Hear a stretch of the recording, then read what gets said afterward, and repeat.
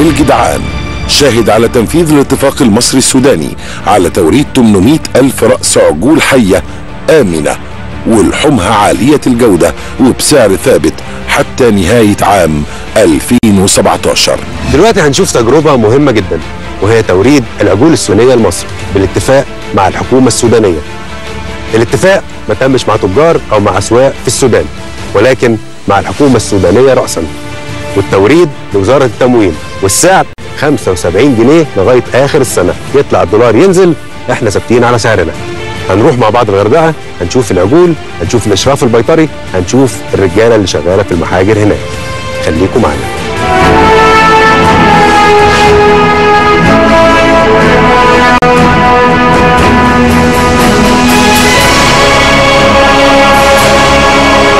الدكتور سعد الحياني واحد من أبرز خبراء تغذية الحيوانات في العالم وبقاله 30 سنة شغال في مصر. ودلوقتي هو مستشار الحكومة السودانية لقطاع الثروة الحيوانية ومشرف على تغذية ورعاية العجول اللي بتتورد لمصر.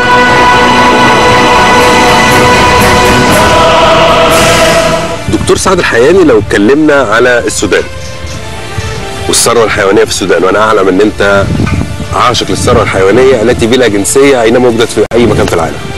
صحيح. خلينا نتكلم على ماذا تمثل الثروة الحيوانية في السودان لمصر؟ كتير من الناس ما يعرفوش إن إحنا لو جبنا العجل السوداني نقدر نحمله من الخرطوم الصبح النهار يكون في ابو سمبل يعني إيه؟ يعني أسرع من ما لو ننقله من آه، أسوان لاسكندريه وكأنه إحنا نحرك الحيوانات في داخل نفس البلد. وأن تكلفة النقل في العربيات هي هي كأنها من اسوان اسكندرية من الخرطوم لأبو سمبل.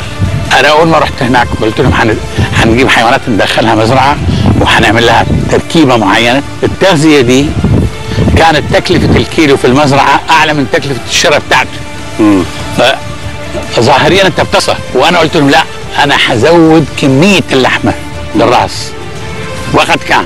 فبعد ما عدت الأربع شهور وذبحنا العجول صفت 58 و60% اللحمة اللي بقى لونها وردي. الدهن بقى أبيض. اللحمة لما تتوخى فيها تيست. فاول حاجة عملناها أنت حولتها لحمة مصري؟ حولتها لحمة بالظبط كأنه بلدي مصري. ده اللي حصل. وابتدينا من 4000 راس تجربة دخلنا في عشرات الآلاف.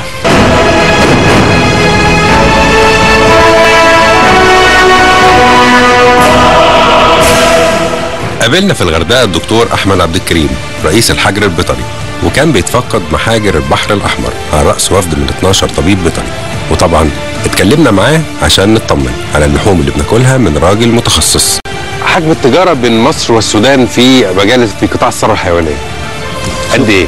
بالنسبة لحجم التجارة بقى اللي بنتكلم عليها قلنا الجمال حوالي 200 أو أكثر من 230 ألف راس السنة اللي فاتت. هنيجي الابقار وصلت أكثر من 85 ألف راس. عجول بقرية للذبيح الفوري. هنجد وبعدين في المقابل هنجد مستوى العالم كله دخلنا يعني حوالي 155 ألف راس من باقي دول من العالم كله بما فيها السودان. يعني السودان واخدة أكثر من 50 أو قد تصل 60% من الكميات المستوردة من الخارج من الأبقار بغرض الذبيح الفوري. يعني زي ما بيقول يا دكتور إن هي خط الدفاع الأول عن تأمين اللحوم للمواطن المصري.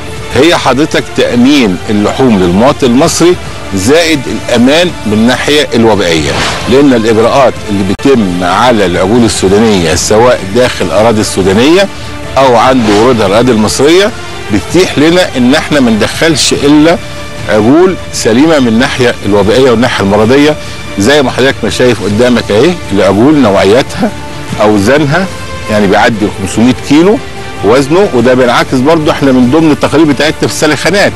هنجد إن متوسط العجل المذبوح فوق بيجيب لحمة بصف لحمة فوق ال 200 كيلو. فده معنى كده إن وزنه بيتعدى 400 كيلو. زائد ال- الناحية الوبائية يعني إحنا زي ما إحنا شايفين دول يعني هم كتير قوي. كان في أصابع التام بتشير إن العجول السوداني تكون سبب في انتشار الحمى القلعيه في مصر. لكن إحنا لو بصينا على الحيوانات الحمى القلعيه مرض ما بيستخباش بيعلن عن نفسه. صحيح. هتلاقي في إفرازات آه الإفرازات ده جاية من الفم وفي عرج أو الاثنين مع بعض. لكن العجول قدامنا أهي الحمد لله مفيش أي أعراض مرضية عليها.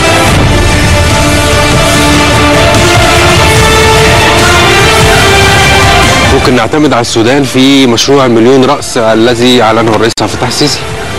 هو هو جاري حاليا على حسب المعلومات اللي عندي دراسة جميع دول العالم عشان المليون رأس أو ال 200 ألف رأس كمرحلة أولانية دي كمية كبيرة جدا.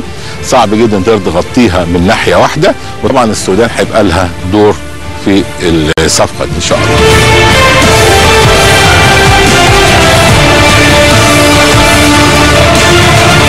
المراحل اللي بتتم على العجول السودانية من أول ما توصل في البحر وهي نازلة من المركب. إيه الإجراءات المحجرية اللي بتتم عليها من أول ما حضرتك بتستلمها لغاية عملية الذبح. الأول بيجي لنا علم إن في مركب جاية بتاريخ معين. المركب دي بت- بتخش المينا. الدكاتره الدكاترة بتوعنا بيروحوا عليها على المركب يطلعوا. لو دكاتره الإدارة المركزية للحجر البيطري اللي بتاع البحر الأحمر. خلاص. بنطلع نكشف الأول على العجول كويس جدا ونتأكد إن العجول خالية من أي أمراض وبائية. okay اللي هي زي ال FMD Rift Valley أي امراض وبائي. حمى القلاعية حمى الوادي المتصدع حمى القلاعيه حمى المتصدع أي مرض وبائي عامة. تاكدوا يخلوها من الأمراض الوبائية. وبعد كده بنديها إذن الدخول.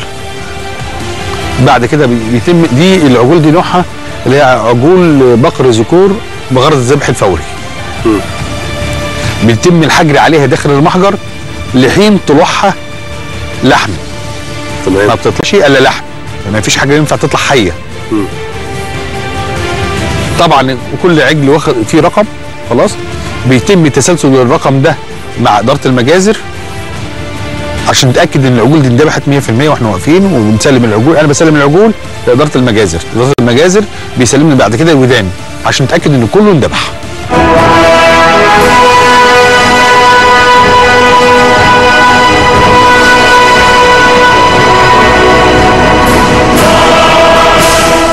قول لي إيه المراحل اللي بتتم أول ما بتستقبله في كارانتينة المجزر لغاية لما بيخرج موجه للمستهلك؟ إحنا اولا بنستلم الحيوان من دكتور المحجر الموجود وبيتم الكشف الظاهري اللي هو ante mortem inspection اللي هو الكشف ما قبل الذبح. آه بعد كده لما لو ما نتأكد إن الحيوان سليم ومفيش أي مشكلة بيدخل على طول آه يعني بيدخل على طول مكان الذبح. آه بنتأكد إن ال- ال- ال- الجزار اللي بيذبح ذبح حلال آه بسم الله والسكينة لازم تكون آه sharp حادة جدا. بعد كده بيجي أنا دوري كطبيب بيطري آه بعد كده لما يعني لما بيكون okay وما فيهوش أي مشكلة خلاص كده بنعمل له pass وبيعدي وبيتم ختم الحيوان.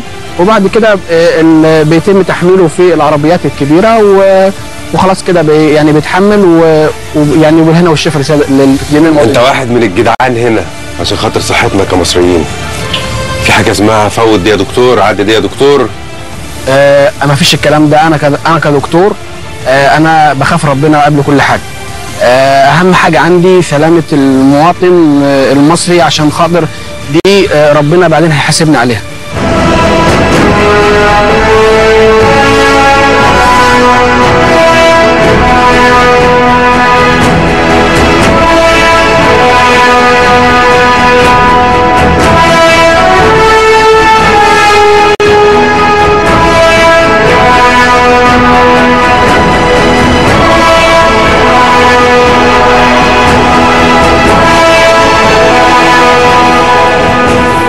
العجول زي ما شفنا ملهاش جنسية. مصرية هي سودانية. لكن لازم ولازم نساعدهم في تنمية ثروتهم الحيوانية. ولازم نقف جنبهم ونساندهم. ولازم نديهم كل اللقاحات البيطرية اللي محتاجينها والخبرات البيطرية اللي محتاجينها. لأن هم خط الدفاع الأول عن الأمن الغذائي المصري.